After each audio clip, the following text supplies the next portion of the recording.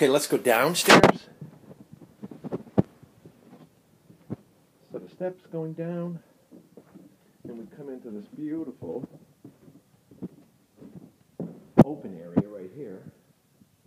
And we have a fantastic rain head shower. I love this little seat cover. it's another bathroom. And this is the space down here with again. And do a quick run around here. There's the hot water boiler in here.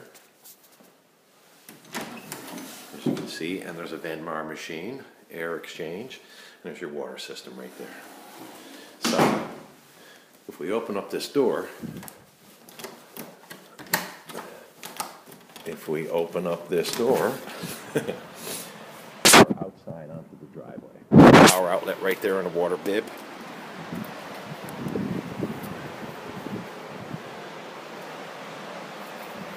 There's our deck up there. There's our driveway.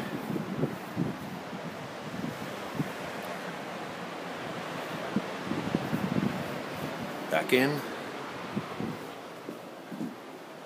This could be a bedroom, fold out couch right there, or with a bathroom down here, quite easily, could easily be another bedroom, that's for sure. Air exchange. Fantastic view again. We'll go upstairs to the third floor.